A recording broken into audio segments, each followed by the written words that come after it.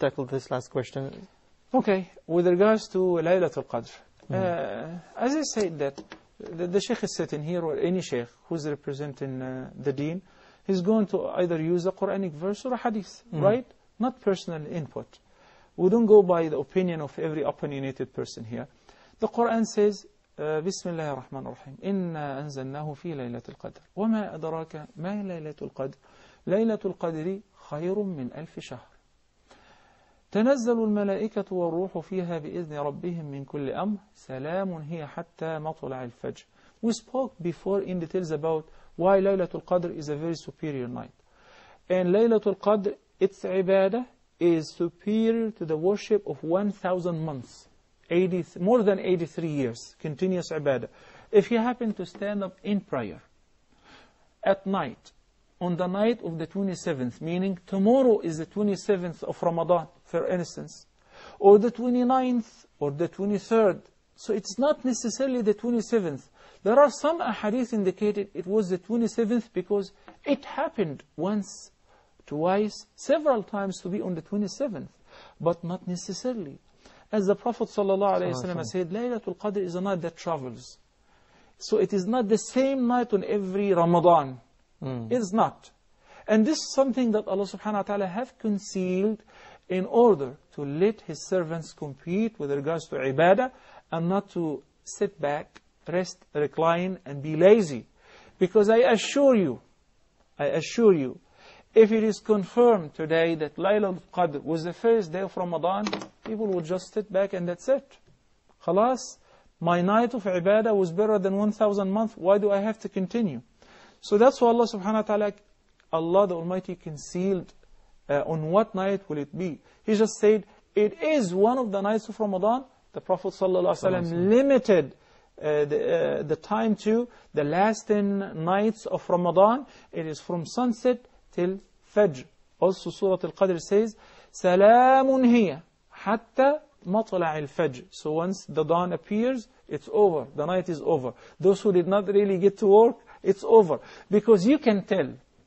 At sunrise, the sun would rise without sunbeams or rays that you can look at it with your naked eye and it would not hurt you. It would look like a moon. And that night, Allah subhanahu wa ta'ala says, تَنَزَّلُ الْمَلَائِكَةُ وَالرُّوحُ فِيهَا On that night, Jibreel alayhi salam ar-ruh and the rest of the angels, they descend. They come down to our earth. They enjoy the recitation of the Quran. They join us in ibadah. So I want you to imagine that a place that's full of angels. SubhanAllah. How will it be? Very pleasant weather, very nice, neither cold nor hot. It may be raining, because rain is a, is a sign of mercy. Mm-hmm. And that's why Nabi Sallallahu Alaihi Wasallam asks us to, to make dua while it's raining, where your dua is most likely to be answered and accepted. And uh, since the angels are everywhere, I don't think you can hear the barking of a dog, because the angels do not exist in a place where uh, dog is in. So, al-ard will be full of peace. Weather will be very pleasant, neither cold nor hot. And it is your opportunity to seize that night in ibadah in order to earn the reward of worshiping Allah for more than 83 years continuously. Which night is it?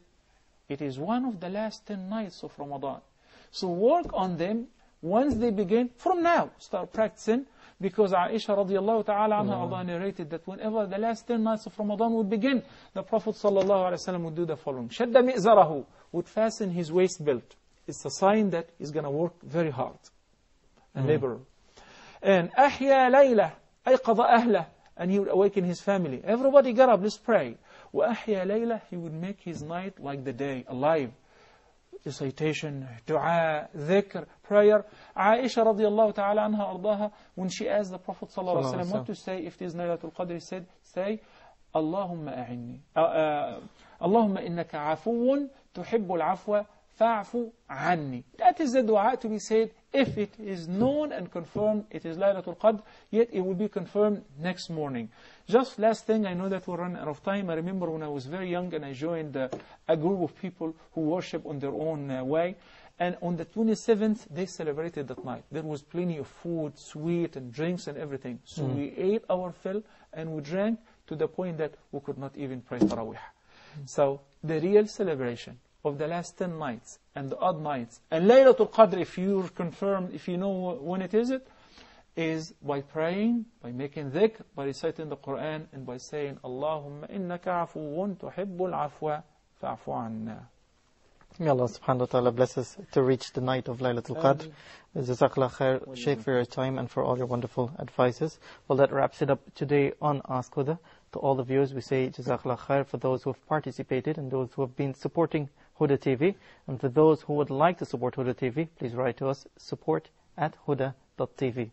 Until next time, Assalamu alaikum wa rahmatullahi wa barakatuh. If my love is attached to thee, then from sins I will be free. Each time my heart will beat, your name will resound with heat. Allah is my heart's your is what I beseech. Keep in my heart your remembrance, and in your deen allow me to advance. Help me in my quest. Permit me to pass the ultimate test. Help me in my quest.